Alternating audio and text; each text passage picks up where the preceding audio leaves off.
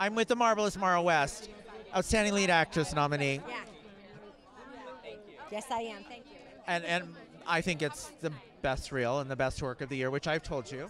Oh you, no, thank you very much. I'm very, I'm, I'm, I'm sort of proud of um, it. I, as, I think everybody knows how much I love Ava Jerome. I really do. I'm so committed to her, and um, and I and I love her journey. I thought was a really, um, really special for me as an actress. So I feel fortunate.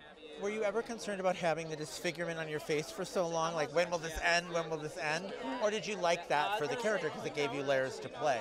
I that I think that that's it. It gave me layers to play, and I'm not particularly vain, and um, so I kind of love that. I like getting You like the physical character, like putting Yeah. on the outfit and making the. Yes. Yeah.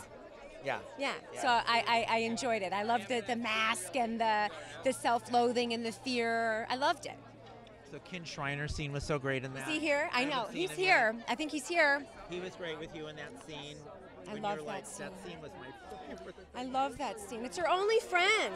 And she's like pushing everybody away. And I'm like, what is she doing? I'm a big fan of Kin Shriner, as he knows, so And then you had Matt Cohen, yes, Griffin Monroe in your in your love life on the show. yes. What would you think about this pairing? I love it. I, I think that I think that um, he cleans her up a little bit and she dirties him up a little bit. You know, Yeah. you got to get the a dirty Yeah, he needs to get a little gritty. I watched because I was putting together some stuff for the Emmys. Your other Emmy victories. Uh, Each one was the curtsy. yes. Will you curtsy? Well, I'm wearing trousers for the first time. Which is so cute. So per- perhaps, Very uh, perhaps, uh, perhaps a bow. I don't know. We'll have to see. I hope we get the chance to have that problem. too. How was the ladies' lunch? Oh, great. I mean, just great.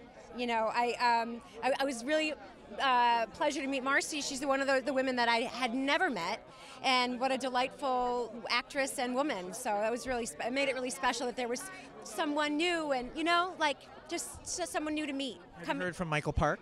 Oh yes, yeah. I think I got a birthday text from him. Yes, it was your birthday today or Uh. Friday Friday. Happy birthday. birthday. Thank you. Yeah, so I got to and then I got a, you know, happy birthday, Queen. Good luck, and so he'll be he'll be. Is he going to be on stage tonight? No, it's Sunday, so he won't. So I'm sure he'll be following along on Twitter Yeah. or whatever, Roku. Michael Park, we love you. We wish you were here. I love you, We love Michael, and you know that. All right, Maura.